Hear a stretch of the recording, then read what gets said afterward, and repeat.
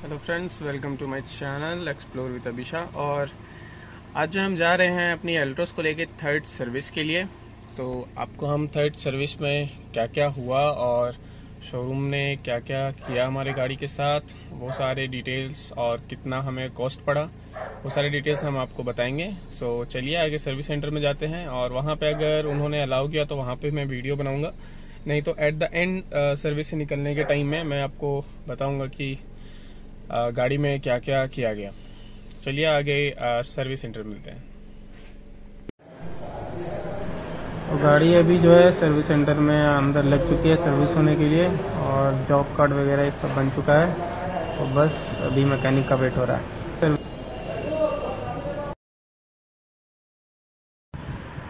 Mechanic जो आ चुका है और अभी इंजन का नीचे स्क्रू निकाला जा रहा है।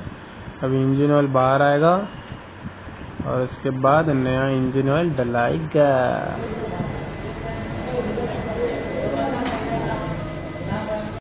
हमारी गाड़ी में ये इंजन ऑयल डलेगा अभी।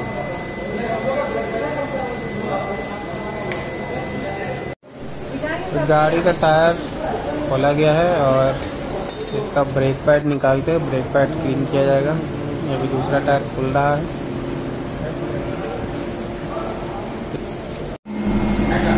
अभी जो है सर्विस हो गया है और गाड़ी जो है वॉश के लिए लगी हुई है। गाड़ी वॉश किया जा रहा है। देखते हैं अभी धोएगा शैम्पू करेगा क्लीन किया जाएगा।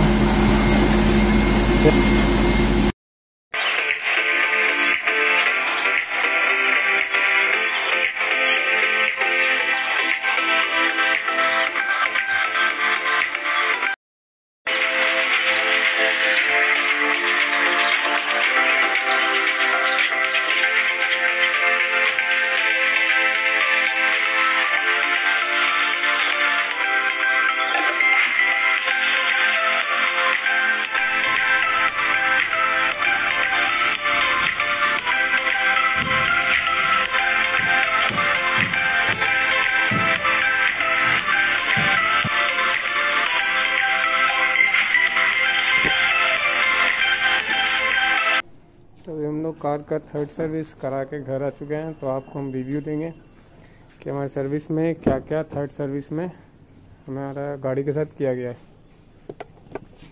अभी गाड़ी के अंदर आ जाते हैं और आपको बताते हैं कि क्या क्या किया गया है। तो इग्निशन पहले ऑन कर लेते हैं। तो इग्निशन ऑन करने पे आप देख सकते हैं यहाँ पे 12,391 किलोमीटर अब तक हमने ड्राइव किया है। थर्ड सर्विस में इन लोगों ने ऑयल फ़िल्टर और इंजन ऑयल 3.5 लीटर इसमें इंजन ऑयल आता है। कैस्ट्रोल का इंजन ऑयल इन्होंने डाला है प्योर सिंथेटिक और एयर फ़िल्टर चेंज किया है और गाड़ी को वॉश किया है। थर्ड सर्विस में इसके अलावा हाँ इसके अलावा उन लोगों ने टायर ओपन करके जो ब्रेक पैड्स हैं वो सब क्लीन किया है। और बस, इतना ही इन लोगों ने किया है और गाड़ी को वॉश किया। तो हम आपको टोटल कॉस्ट बताते हैं कि गाड़ी में कितना बिल बना।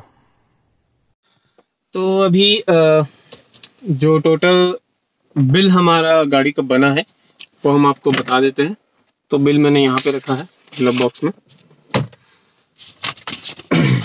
टोटल बिल जो है, वो 3359 का इन लोगों ने बनाया है। और इसमें मैं आपको बताता हूँ क्या क्या चीज़ें उन लोगों ने लगाई हैं।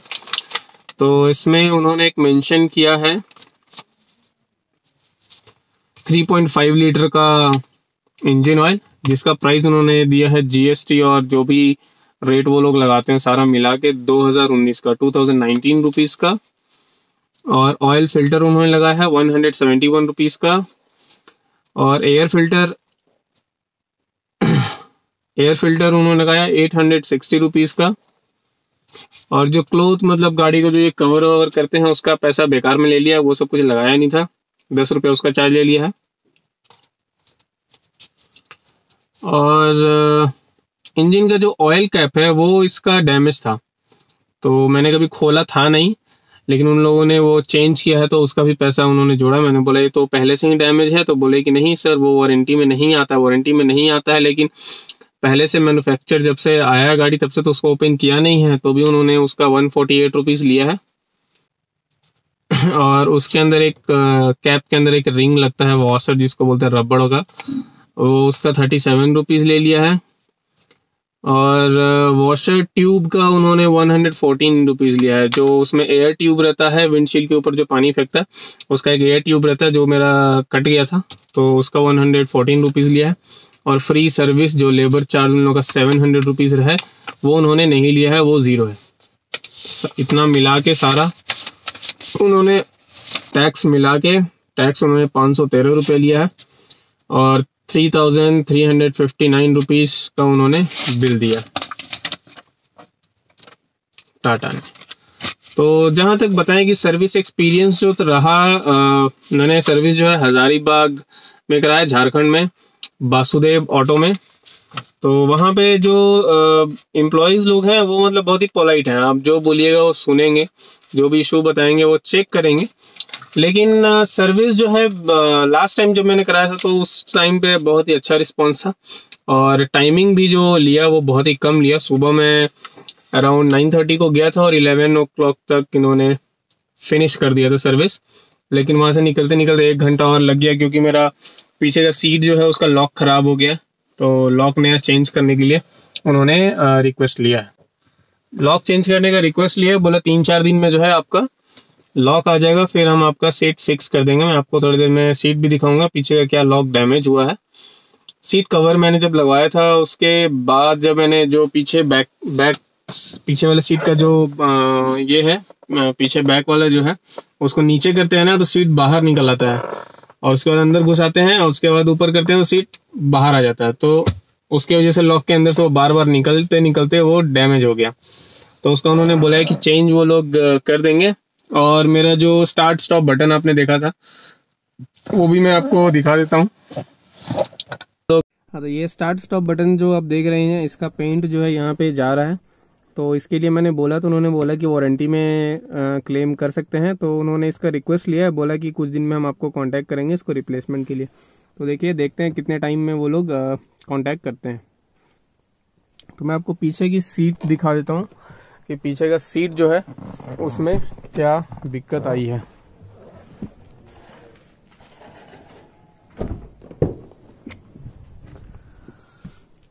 तो ये जो है इसको जब मैं नीचे करता हूँ तो ये सीट जो है अंदर की ओर चला जाता है, यहाँ पे। और जब मैं ऊपर करता हूँ तो ये बाहर की ओर धक्का देता है तो उसकी वजह से जो है इसका लॉक आप देखिए, कुछ इस तरह से डैमेज हो गया। और उस साइड में बहुत ही हेवी आदमी कोई बैठ गया था, जिसकी वजह से वो वहाँ पे डेंट हो गया है। तो उन्होंने बोला, नया लॉक आने के बाद इसे हम फिक्स कर देंगे।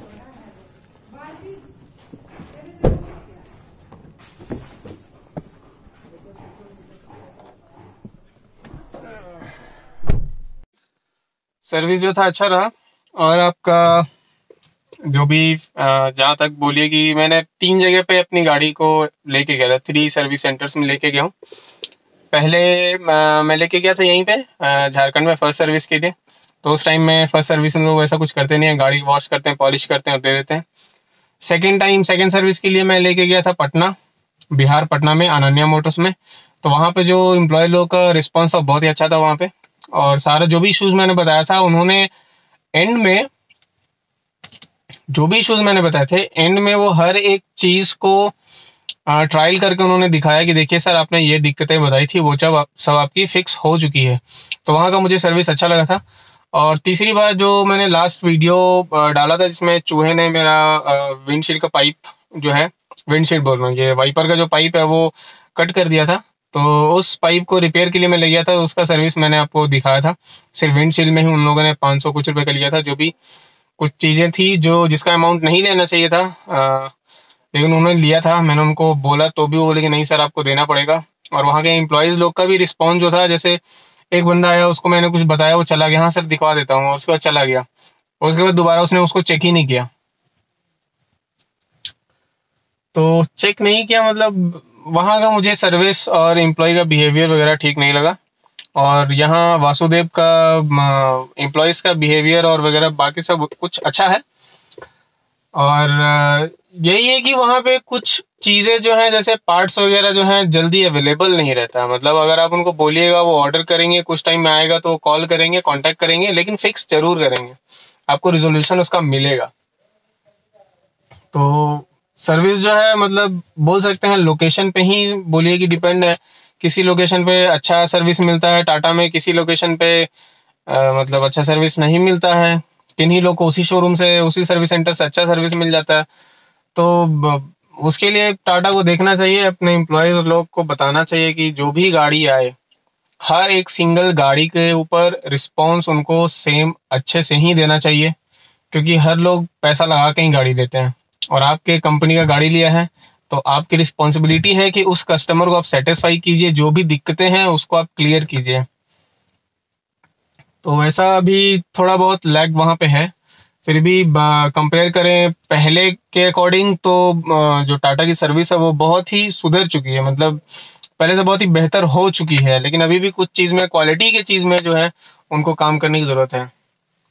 तो ये था मेरा थर्ड सर्विस का रिव्यू थर्ड सर्विस जो हमारी गाड़ी का, वो उसके बारे में हमने आपको बताया और जो भी चीज़ें उन लोगों ने गाड़ी में की वो सब मैंने आपको बताई। ज़्यादा खास कुछ किया नहीं। Engine oil oil filter air filter brake pad clean गाड़ी वॉश गाड़ी आपको डिलीवर तो बस इतना ही किया। तो ये वीडियो जो है यहीं तक था।